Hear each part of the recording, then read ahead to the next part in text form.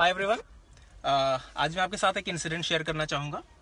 आज around two O जब मैं अपने गाड़ी के पास आया तो मुझे अपना डैशबोर्ड कुछ इस हाल में दिखा। ना इसको देख के मुझे इनिशियली ऐसा लगा जैसे किसी ने चोरी करने की कोशिश करी हो। But then again later on I found that एक डिओड्रेंट मैंने इस कार में रखा था, जो बर्स्ट कर गया है। आजकल टेम्परेचर बहुत ज़्यादा हाई जा रहा है and just because of that ये डिओड्रेंट बर्स्ट कर गया है।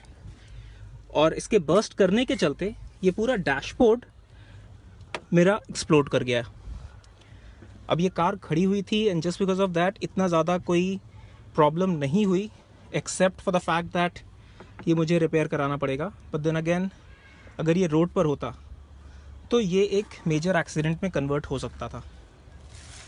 So I hope you will understand that ऐसी कोई भी चीज़ जो हाईली इनफ्लेमेबल हो आजकल गाड़ी में ना ही रखें तो अच्छा है बिकॉज़ आजकल टेम्परेचर काफ़ी ज़्यादा है और ऐसा कोई भी इंसिडेंट हो सकता है। अगर ये मेरे साथ हो सकता है तो ये किसी के भी साथ हो सकता है।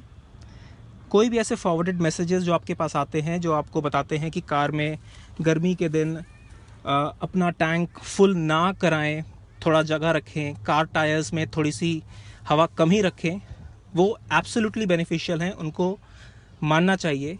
क्योंकि ये किसी के भी साथ हो सकता है। Thank you so much